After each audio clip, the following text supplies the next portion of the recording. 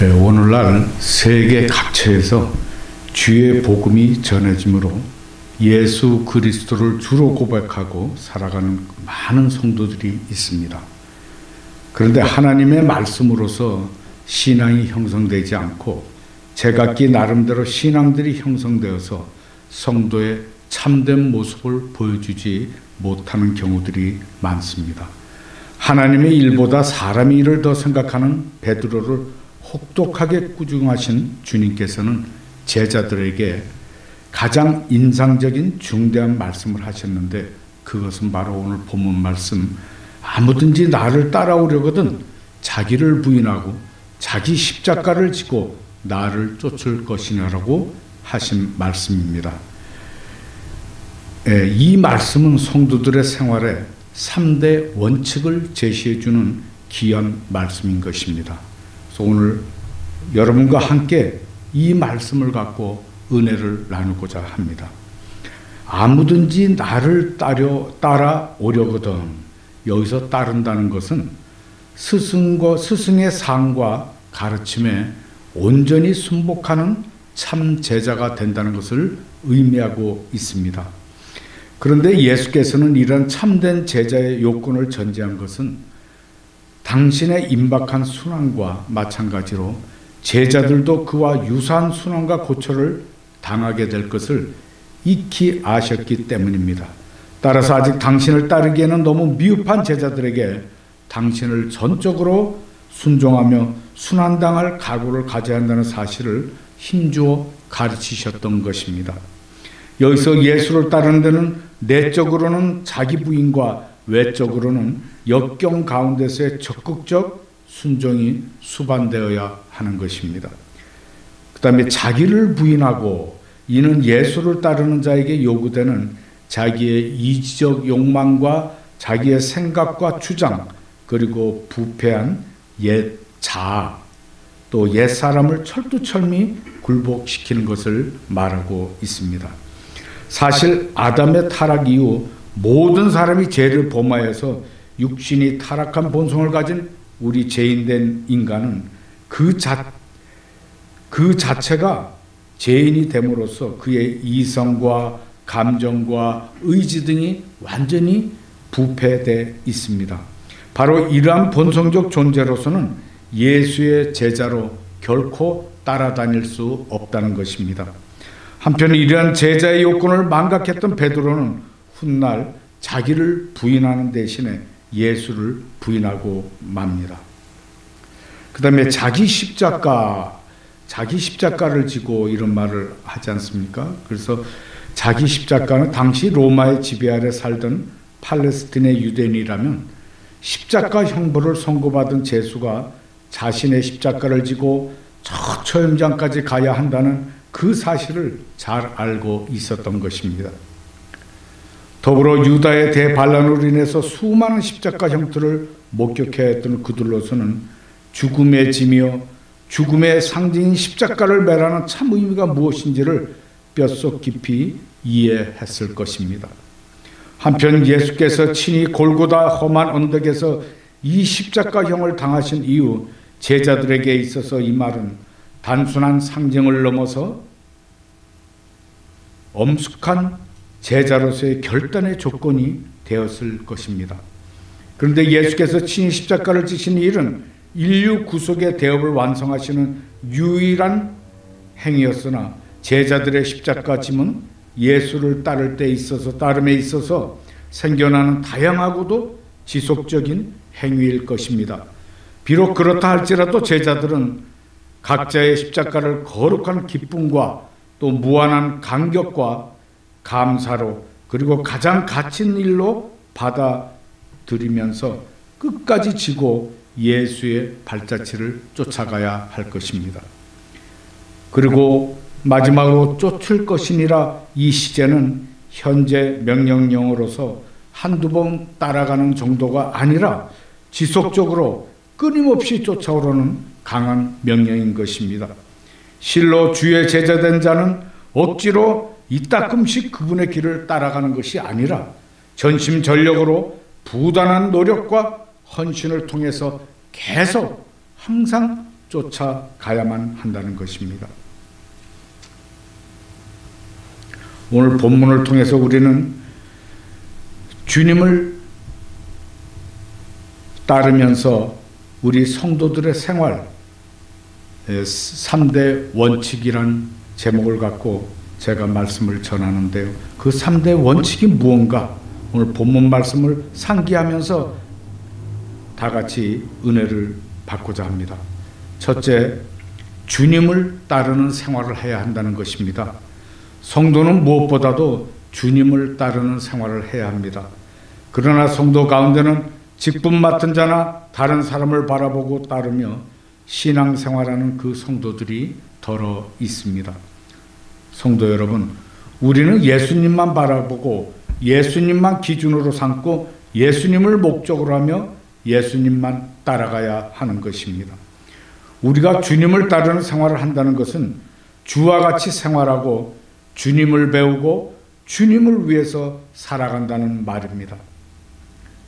그런데 주님을 따르는 생활을 한다고 하는 사람들 중에서 실상은 주님의 뜻보다 자기 뜻을 만족시키고 또 주님께 배우기보다는 자기가 보기 좋은 사람에게 배우고 영향받으려는 사람이 있습니다. 그러나 이러한 인간적인 생각이나 판단은 자칫 그릇될 수도 있습니다. 그러므로 우리는 바울에게서 배워야 합니다. 사도 바울은 부활하신 주님을 만난 이후 오직 살든지 죽든지 주의 이름을 존귀케 하는데 최고의 목적을 두었습니다. 아울러 그는 그리스도만 바라보고 그리스도를 본받고 그리스도를 따르는 삶을 살았습니다. 이는 바울만의 특별한 삶이 아니라 모든 성도의 삶이어, 삶이어야 함을 우리는 알아야 하겠습니다. 두 번째로 자기를 부인하는 생활을 해야 합니다. 모든 사람은 자기 본분을 올바르게 알아야만 자기 직무에 충실할 수가 있습니다. 그러나 여러분도 알다시피 우리 자신을 아는 사람이 얼마나 많습니까? 또 얼마나 있습니까? 모두가 우리가 삶을 살아갈 때 모두가 자기 중심으로 얘기하고 자기 중심으로 행동하고 자기 중심으로 행동하고 있습니다. 그러나 자신을 아는 것만큼 더 중요한 것은 없습니다. 그래서 유명한 철학자인 소크라테스가 뭐라 그랬나요? 너 자신을 알라 말을 한 것입니다.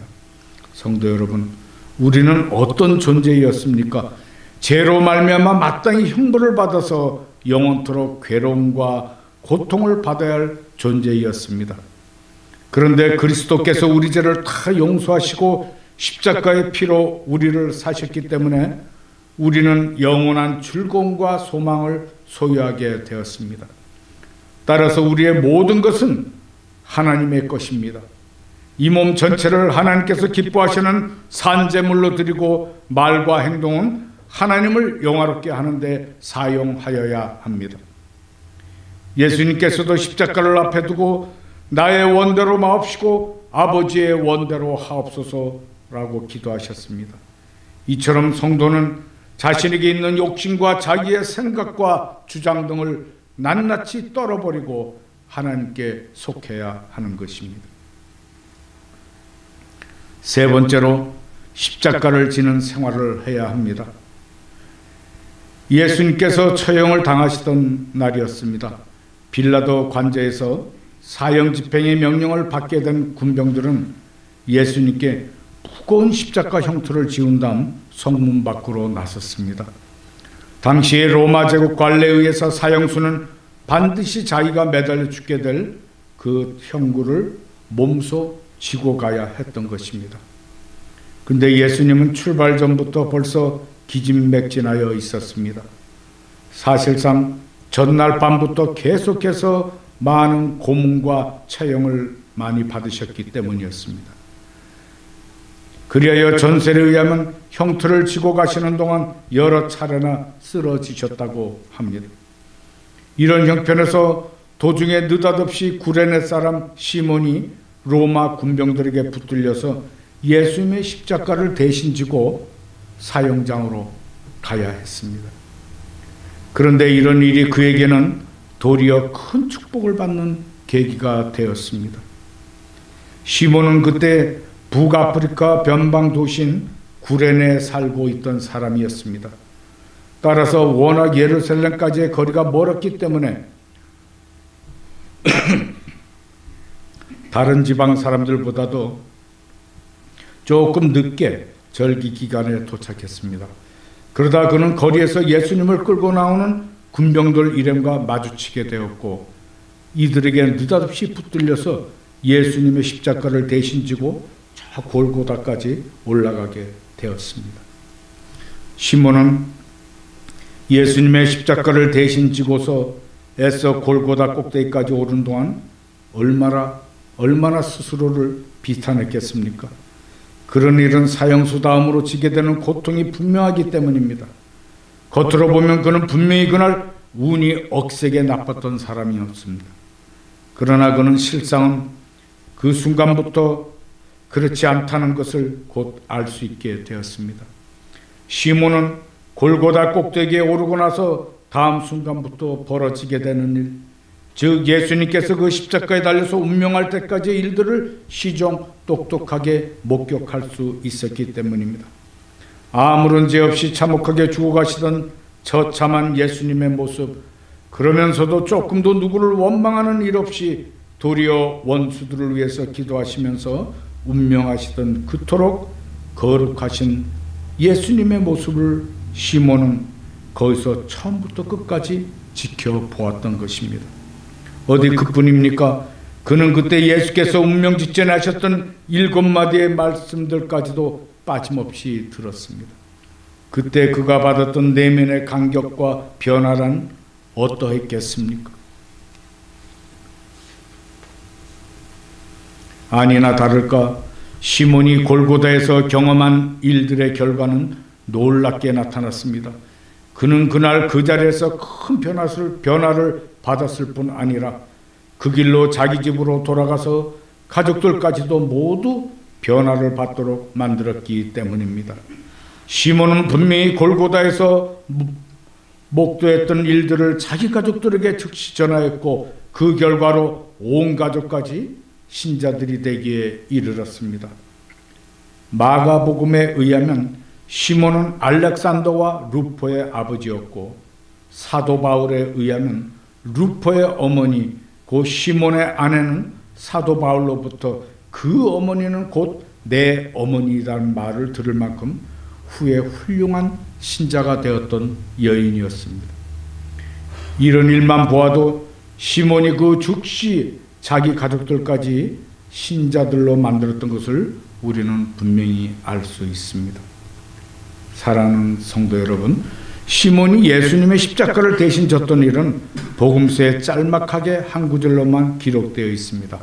그러나 그 배경에는 이상과 같은 크고 엄청난 하늘의 축복이 들어 있기 때문에 우리를 경탄게 경탄케 만들고도 남는 것입니다. 그렇습니다. 하나님의 자녀요 후사인 성도들이 주님과 함께 영광을 얻기 위해서는 주님께서 당하신 고난에 동참해야 합니다.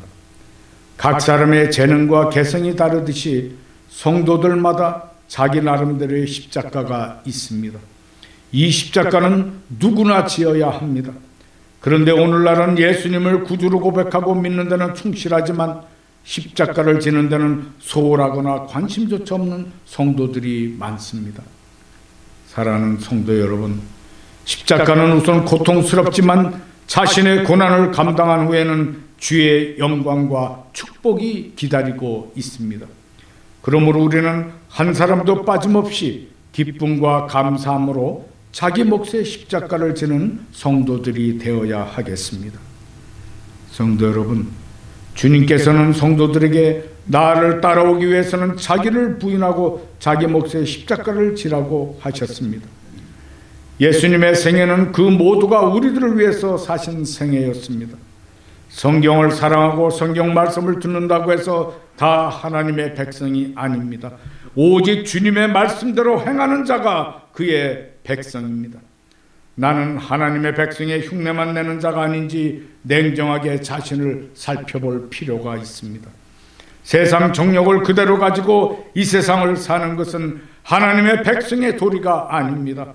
없어질 것을 바라보지 말고 주님의 영광을 위한 삶을 살아가는 여러분이 되시기를 바랍니다.